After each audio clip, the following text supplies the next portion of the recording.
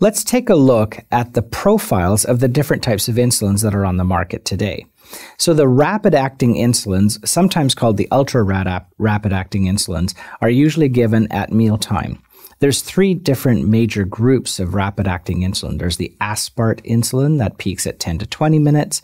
There's Lispro insulin that peaks at 15 to 30 minutes. And there's glulisine insulin that will peak a little bit later at about 20 to 30 minutes time. The short acting insulins take a little bit longer, but they're sh- still considered short acting. These are the oldest of the insulins, and we call them regular insulins. Um, trade names include Humulin and Novolin. They peak at around 30 minutes to 60 minutes, and they last up to uh, up to four to four to 12 hours.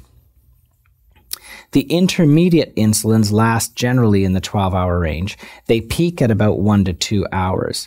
We call them intermediate insulins, NPH insulins. The long acting insulins are the newest insulins out there, and they're really starting to become a mainstay of uh, in- insulin therapy.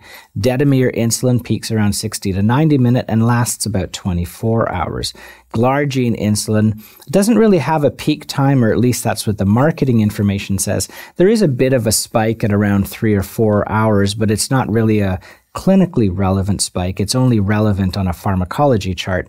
But from a practical point of view, it doesn't really have a peak time and it also lasts about 24 hours.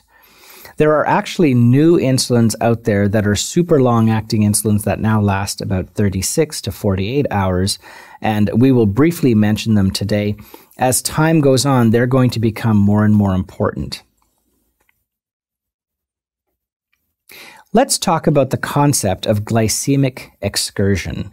So, glycemic excursion really means the difference between the level at the start of at the start of a meal and at the end of a meal. So, if you take a look at your breakfast excursion, that is the largest excursion of the day. Even though lunch and dinner may be larger meals, there's not as much of an excursion. This is going to be really important when we start prescribing insulin.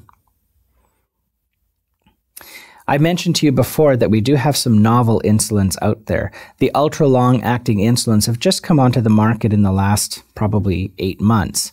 Glargine modified insulin has a very, very long duration of action, probably around uh, 36 hours. Now, I also want to talk about inhalational insulins. They, the, these very first products were very unsuccessful, unfortunately. You can see the first puffer was really more like a huge beer can than really a puffer. It was quite inconvenient. It had the spacer built into the, the device. Um, and it wasn't as successful, and it ended up getting pulled off the market because of uh, various reasons.